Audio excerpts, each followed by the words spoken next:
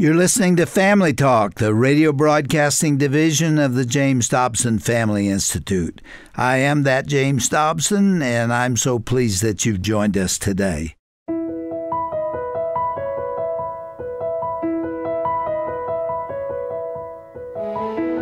Hi, everyone. This is Roger Marsh for Family Talk. Before we get into today's broadcast, Please know that some of the content that we'll be discussing is really intended for more mature audiences. So if you have little ones listening in right now, we encourage you to use parental discretion.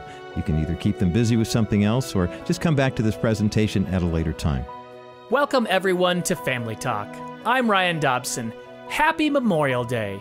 Today is a continuation of a special programming this ministry has brought to you all month long. Over the past few weeks, you've been listening to a curated set of retrospective classics commemorating Family Talk's 10th anniversary. We continue now with part one of my dad's timeless interview with Josh and Sean McDowell, recorded in 2011. This father son duo are prominent apologists, best selling authors, and effective communicators. Their discussion revolves around passing on a godly legacy to the next generation. What could be more important than that? We hope you have time to reflect upon this as you enjoy the holiday. Without further delay, here is my dad, Dr. James Dobson, to greet his guests and introduce this important topic.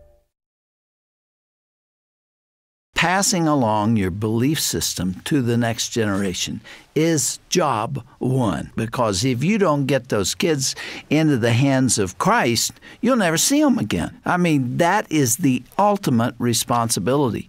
And uh, we have uh, two guests with us today that are great friends of mine. I'm delighted to have them back. They've written a new book, and we're going to talk about it today.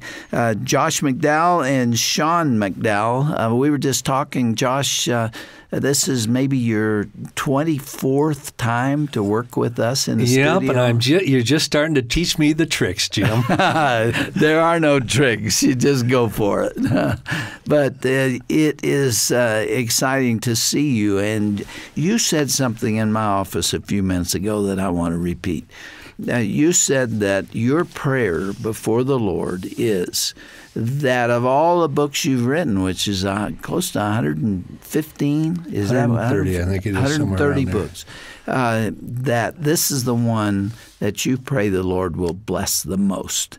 Uh, the title of it is The Unshakable Truth How You Can Experience the 12 Essentials of a Relevant Faith. And it gets to the heart of that matter of transferring what you believe to a, a, culture that is at war with the family and at war with the church. Is that the essence of what you you and uh, and Sean are doing here with this book? I've never written in an area that is so critical at the very moment in the body of Christ. I don't like to call it a crisis. I like to say we have some overwhelming challenges, and you hit on it mm. when you said we are not passing our faith on to the next generation. And when that happens, the church dies. Doesn't that break your heart? Oh, it does. I mean, uh, just walk on a, a, high school or college campus and look around, and uh, you, you can just see in the behavior. Go to the mall on Friday night and uh, see what the kids are caught up with. They don't get it. They don't know who Christ is or what He can do in their lives. Well, Jim, maybe I'm off base on this, but walk into the average Christian home and I would shake my head and say, they don't get it. Because much of what you see in high school and universities are not a reflection of the university and everything. It's a reflection of their home, especially their relationship with their father. Truth without relationships leads to rejection. Yeah. If we're lacking in any one area, it's helping parents, especially the father, to develop that healthy, loving, intimate relationship with their child, where when they share truth and they model truth, that child will want it. In preparation for a three and a half hour DVD I just finished called The Bare Facts on Sex, Love, and Dating, I did a lot of research, secular research. One of the things that surprised me, Jim, was this. Three different studies showed that everybody talks about peer pressure and sexuality, you know, from your peers and the culture and Hollywood and everything. These secular studies shows there's one thing all the way through high school and university up to 25 years that totally overrides Hollywood, everything, totally overrides their peers. It's their relationship with their father. Far more powerful than their peers. And you know something about that because you had a bad relationship with your father. Well, my dad, as I've shared many times, was the town alcoholic. You know, and the embarrassment we put up making a fool of himself downtown and all, beating my mother to a point where she couldn't stand up. Um, I wish I never grew up hating my dad because, Jim, I think every day of my life I paid a price for it, even after coming to Christ. And that had a profound effect because, see, because my dad was always drunk. Now, this sounds dumb, but what it said to me, I was not worth having a relationship with. It affected my self image and everything. Yeah. Because if I'd been a good kid and my dad really loved me, he never would have gotten drunk. Yeah. I didn't realize I had nothing to do with the problem. And the other is, and I don't know if I've ever shared this even with you, Jim. Uh, I've just come kind of public with it. Between six and 13 years of age, I was homosexually raped almost every week for seven years. It has nothing to do with suppression of memory. No, it has to do with a man named Wayne Bailey. When I was six years old, my parents hired him to be a, a cook and a housekeeper on the farm. From that moment on, whenever my mother went downtown shop, my parents went away. Mm-hmm. My mother would grab me by the shirt and march me into Wayne Bailey. And in front of him say, Now you obey him. You do everything he tells you to do, and if you're disobedient, you're going to get a thrashing when I got home. So what'd you do? You did everything Wayne Bailey told you. At did, nine did your mother know what at was nine years old and 12 years old, I went to my mother and told her, and she wouldn't believe me. And Jim, you you can't put into yeah. words what you feel like at that moment. The only emotion I can really experience from that was an overwhelming fear. I still have that today. If I say if I was in this room alone and I was focused on something, anyone here walked into this room, any man walked in this room, even today, a tremendous emotion of fear will sweep over me just for a second or two. I have people come up, Jim, all the time, like they'll say to you, Well, let's gather around Josh and pray for him. And I say, No, right in front of a huge congregation. I say, No, please don't. Why? Every time, every single man that's ever laid this out, pastor, anyone, or group of people, every time they'll touch you on the shoulder, every time they don't even know, they start to rub you. Every person does it. And you get a flashback. And that's exactly what happened. He'd come up from behind me and he would start rubbing my shoulders. And when somebody does that now, all those flashbacks come back. But I know my past. I know who I am. I know what's happened in my life. But I'll tell you this, Jim. If I hadn't come to Jesus, I don't know what had happened in my life. And if the man who led me to Christ had not mentored me for six months and said, Josh, you need to forgive him, I said, No way, I want him to burn now. But I did it out of obedience. I didn't feel like forgiving him, but I did. Oh my gosh. It was like a big burden rolling off. I've learned this one thing there's nothing too great in my life for God's power to deal with, nor anything too insignificant for his love to be concerned about. And I'm a walking, living example of that. And without understanding that, I wouldn't be in this program with you today, Jim. I wouldn't have my relationship that I have with my son.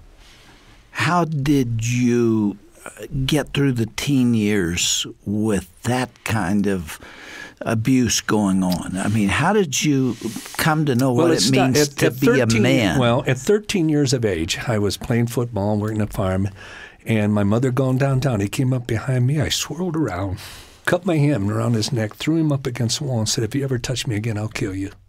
He never touched me again. I would have killed him. Jim, one of the hardest things was living, excuse me, with the shame of it. Yeah. But I had nothing to do with it. Yeah. But it was a trend. Back then, you have to understand, no one talked about it. Right. But that shame. I went through life fearing people because I had no control over it. But you know what? I like who I am today, Jim. And I wouldn't be who I am if God hadn't walked me through all those things. See, that explains why you talk so often about fathering. Uh, you teach about being a good father and and the relationship with your son. Uh, how did you get over that? Uh, you did not accept the tenets of the Christian faith. I mean, they were there for you, but you say in the book that uh, you really had a struggle. Oh, I, I struggle to this day, Jim. Every day I have a struggle with it. But apart from this man mentoring me, and this is why, Jim, I developed such deep convictions. Not just that the Bible is true intellectually, but it changes lives. My life has been changed through the very principles this man taught me from the scriptures. And I remember I had so much fear going to him. And, and I was afraid to tell him, I didn't want to be hurt again. It hurts to be rejected. Mm.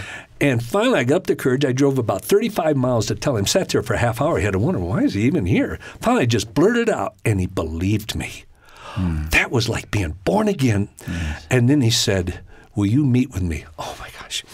And I saw the Word of God take effect in my life, dealing with sin, How dealing with hatred. How? I was probably about 19. It was right after I came to Christ. And but probably the biggest thing that helped me is the woman I married to. I just, I stand in awe of Dottie. I'm the most fortunate man in the world to be married to Dottie. And people say, Oh, you have a wonderful family. I said, I know this. I wouldn't have the relationship with my son here and my daughters without Dottie. I would have destroyed everything in my life if God hadn't had me marry someone like Dottie. Well, this is Family Talk, and you've been listening to a very raw and honest testimony from Josh McDowell. I'm Roger Marsh. You know, today's broadcast really has been difficult to listen to, given the horrific trauma that Josh McDowell experienced. It's the kind of thing that happens to a lot of people and makes you look at God a whole different way. Josh McDowell admitted that being sexually abused altered his worldview. Fortunately, we serve a God who is a God of love He's not a God of condemnation. When you are a victim of abuse, you have to remember that this is not your fault and that God can rescue you from that pain, He can redeem you, and He can restore you. This timeless Family Talk broadcast featuring Josh and Sean McDowell will continue in just a moment after this quick message from Dr. Dobson. Society has always recognized the crucial role a mother plays in the development of children. But behavioral scientists have only recently begun to understand the vital role a father plays in a family's emotional health. According to psychiatrist Kyle Pruett, the author of the book titled Father Need, dads are just as important to children as moms, but in a very different way. He cited recent studies indicating that by eight weeks, babies can distinguish between the differing caretaking methods of a mother and a father. Further studies found that infants are born with a drive to connect with their fathers. Teenagers also express a deep need for their fatherly influences.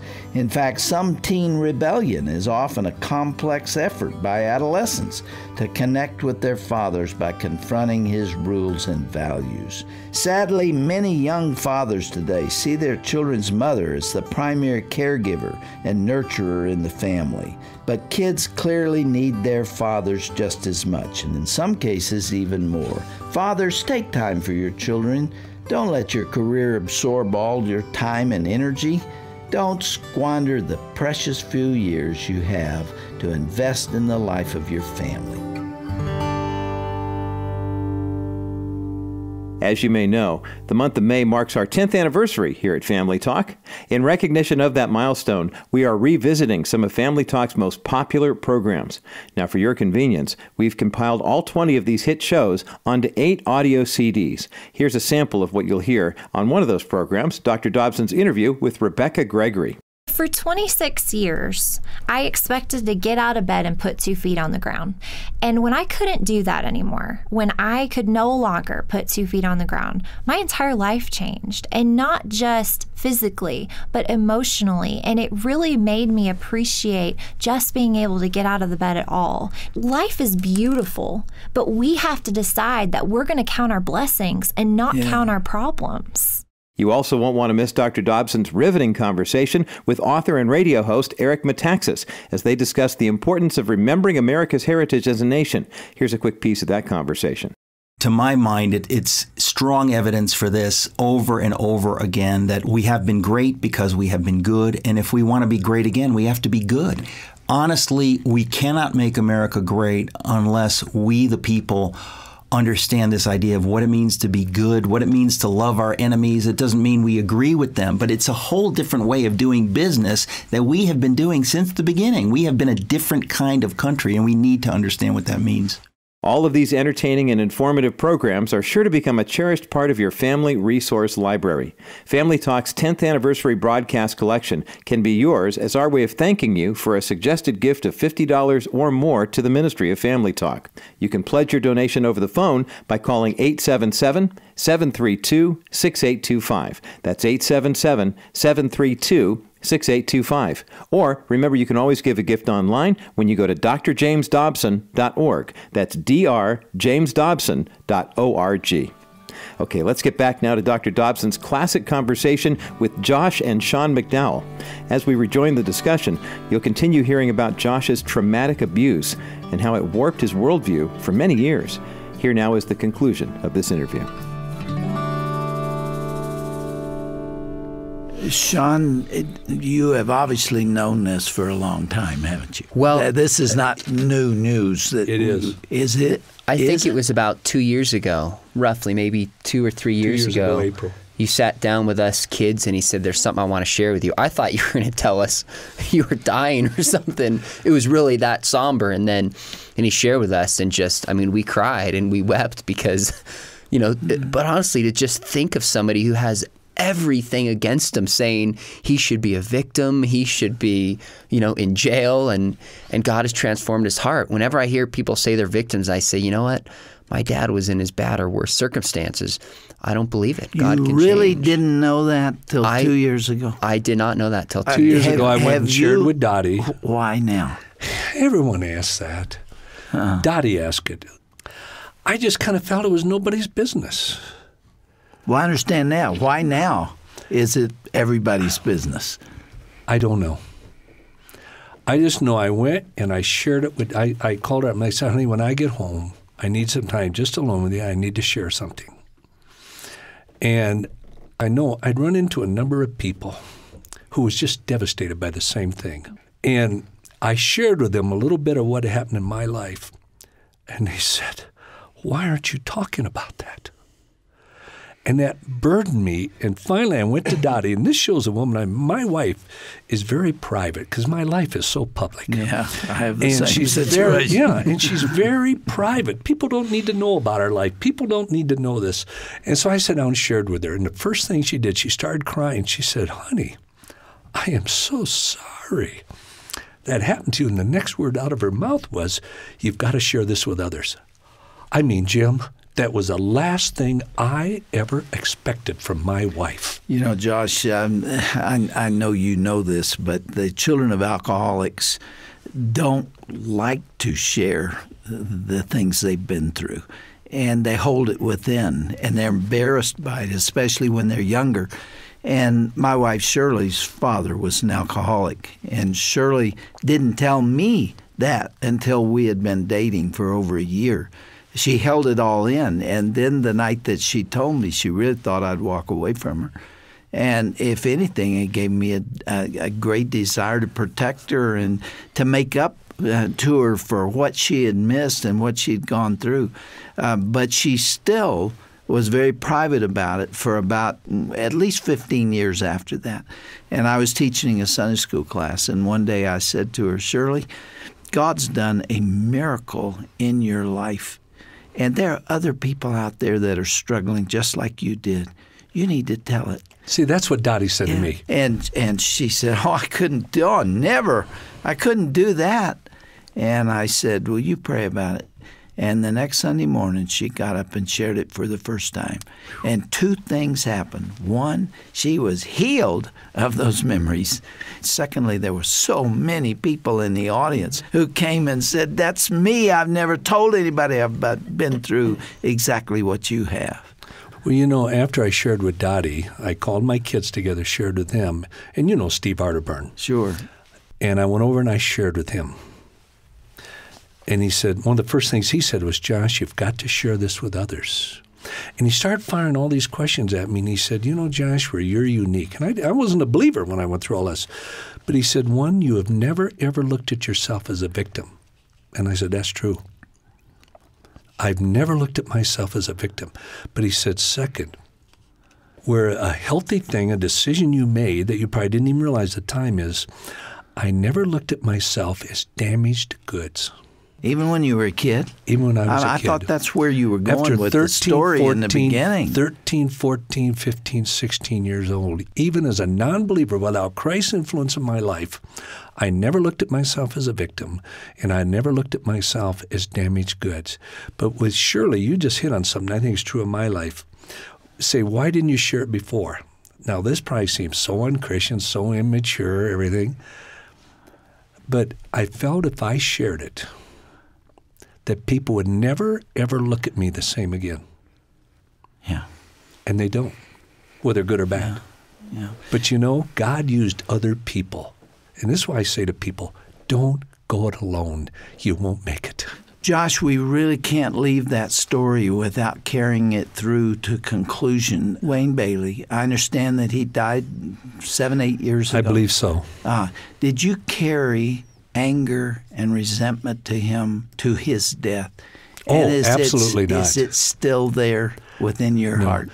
Uh, what what has God done with that? Remember, I shared that the man who led me Christ mentored me for six Yeah. months. At the end, he, he said something I didn't want to hear. I knew it was true, but I didn't want to hear. He said, Josh, you need to forgive him. But I knew the Bible was true. I knew com- God commanded me to forgive, and it would be honoring to Him.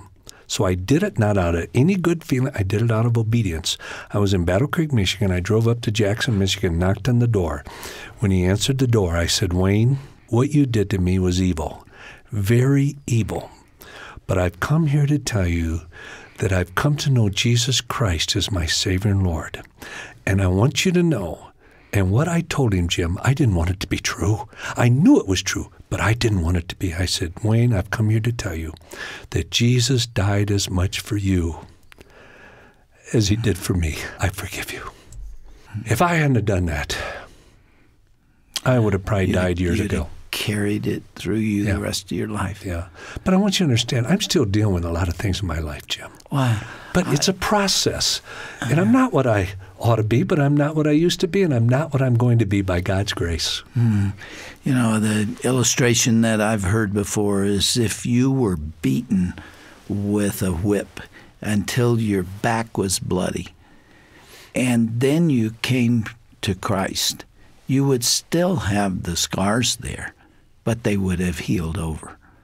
You know, you still have the scars of your childhood, but you're not bitter and you're not angry and you didn't want to kill him. I control them now, they don't control me by God's grace. we are talking to many people today who have experienced that. That's the tragic thing. It is happening so commonly today, and uh, and they hold it in and they don't tell anybody.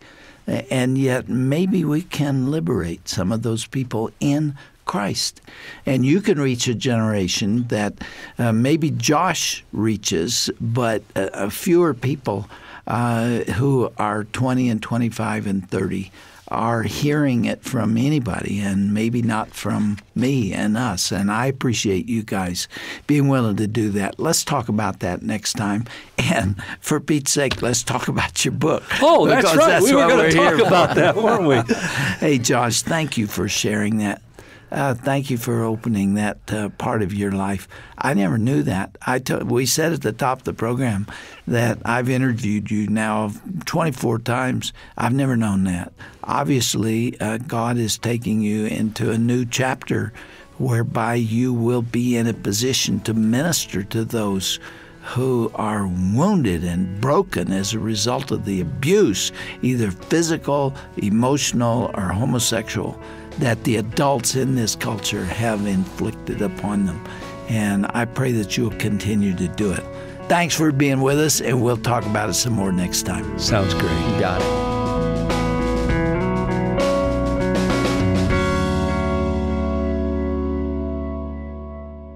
I'm Ryan Dobson, and thanks for listening to a special 10th anniversary edition of Family Talk. My dad's guests today have been best selling authors and apologists Josh and Sean McDowell. That father son duo is doing great work with their individual ministries, and I am happy to see Sean flourishing. That reminds me, make sure to check out my ministry, Rebel Parenting. Head to rebelparenting.org. There you can access the podcast I do with my wife Laura. We cover all things marriage and parenting in this new and challenging age. Visit drjamesdobson.org for more information about Josh and Sean's ministries and their book, The Unshakable Truth. Tune in tomorrow to hear the remainder of my dad's classic interview with Josh and Sean McDowell. They'll dive deeper into their book about conveying truth to the next generation, right here on Dr. James Dobson's Family Talk.